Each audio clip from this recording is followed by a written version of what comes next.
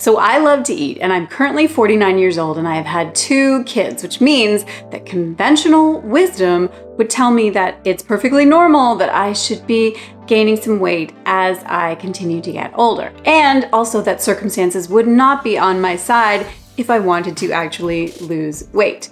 I'm also a doctor. I'm a conventionally trained MD, and I was taught to tell patients that if they wanted to lose weight, they simply needed to eat less and move more. And that, my friends, did not work at all for my patients, and it didn't work for me when I decided that I did actually want to lose some weight. So, how did I lose weight in my 40s? In fact, getting down to not only what I weighed before having kids, but actually getting down to what I weighed in my early 20s. Intermittent fasting, you guys, that's how I did it, and I am going to tell you exactly how it works, not just from the medical perspective, but also from a personal perspective.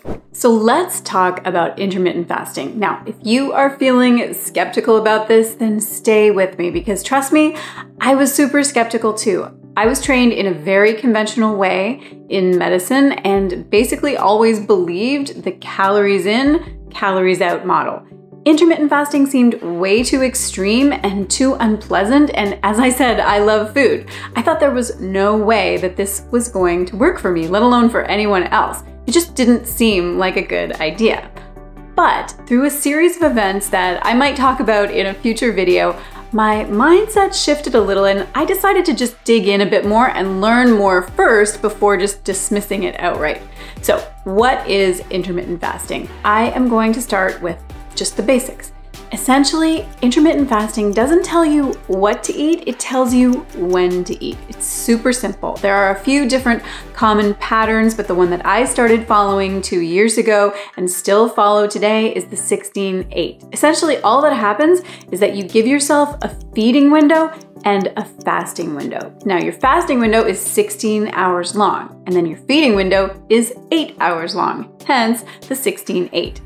And that's pretty much it in a nutshell, which is actually one of my favorite things about this approach because it's just so simple. Other diets and weight loss approaches are so complicated and you have to keep track of so many things throughout the day. With intermittent fasting, the only thing you really need to keep track of is am I in my feeding window or my fasting window? Now, let's just talk about the mindset shift required to even give this a try. Now, most people think I am going to be starving if I go for 16 hours without food. I can't do it. To which I want to ask you, are you sure? Because here's the deal our bodies are actually designed to handle fasting. From an evolutionary perspective, this is what we have always done. Food was never so readily available as it is now. And all this nonstop eating and constant access to food and snacks and all of that, there is nothing natural about that. What is natural is having long stretches of time between feeding and allowing our bodies to trigger the normal mechanisms that are built in to allow us to access energy reserves that are literally there for that purpose. In fact, you already fast right now, every day without realizing it. When you're sleeping, you are not eating, right? And this is actually the easiest way to really ease into fasting, is just to extend your overnight fast either before or after sleep or both. Because the magic happens once you get to that 12 hour mark of not having any food coming in, because that is actually when your insulin drops and your body starts to access the energy that's stored in fat for energy. That's right, it's starting to burn fat, which is what most of us want, right? And we have this mechanism built in because back in prehistoric times when we were evolving, there was a genetic advantage to being able to access those energy sources so that we could go out and hunt or gather or forage or whatever we had to do to get food. We don't have to do that anymore. Obviously, it's just a short walk to the refrigerator now, but your body still has the capacity to do this if you allow it. Another issue is that our digestive systems were just not designed to have a constant flow of food coming in. Our bodies are supposed to be functioning in a cycle. Fasting gives our digestive tract a rest and allows our bodies to do everything else that it needs to do. So let me describe exactly how I structure my day around intermittent fasting. So after eating dinner with my family in the evening, I am done eating for the day. No snacking or anything else after 8 p.m. Then, of course, I'm sleeping through the night.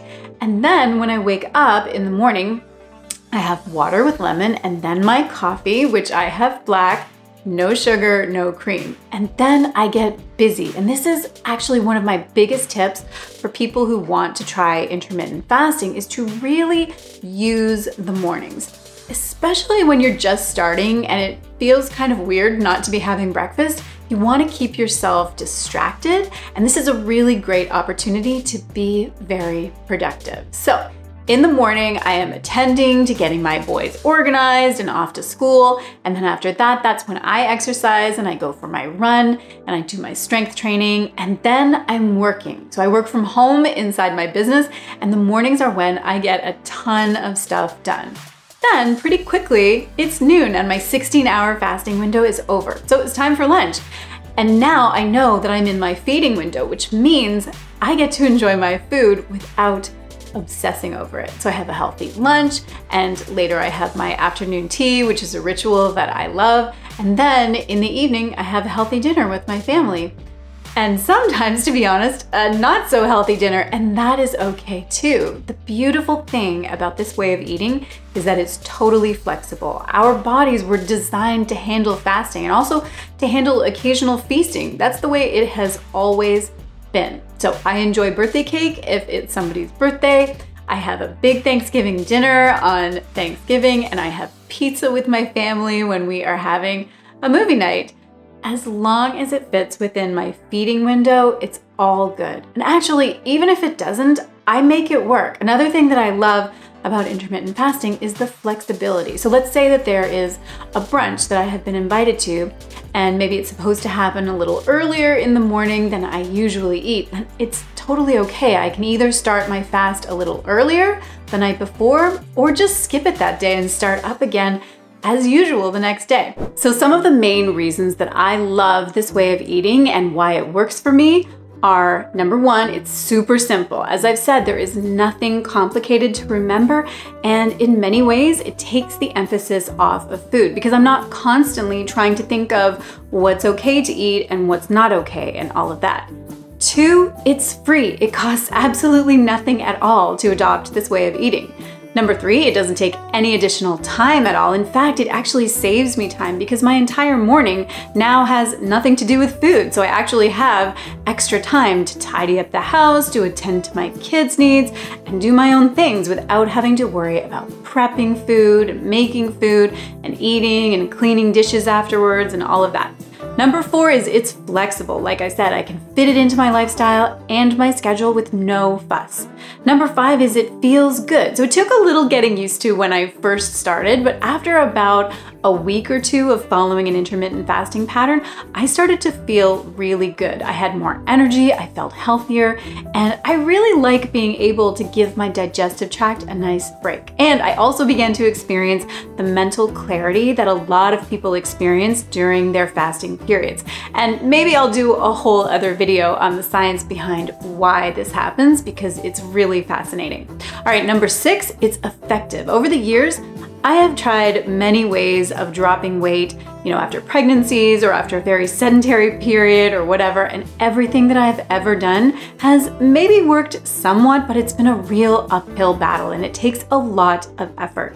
This method feels almost effortless. It's kind of amazing to actually feel in control of my weight and to know that I will always have this tool available to me, and so I will always be in control. So, if all of this sounds good and you would like to learn a little more about intermittent fasting, then I have put together a free guide with my top 10 intermittent fasting tips. And you can download that PDF for free just by clicking the link in the description box. Now, I do want to say that if you are considering giving intermittent fasting a try, it's very important to talk to your own healthcare provider first. Yes, I'm a doctor, but I'm not your doctor. It's really important to have your own healthcare team give you the green light first because they know you and they know all those important details about your own unique medical situation. Now, if you liked this video, then let me know and I will definitely make some more videos on this topic, you know, to go deeper and answer your questions because I would be happy to do that if there's an interest. So be sure to let me know in the comments below this video. All right, that is a wrap for today. Thank you so much for joining me and for watching this, and I will see you again next time.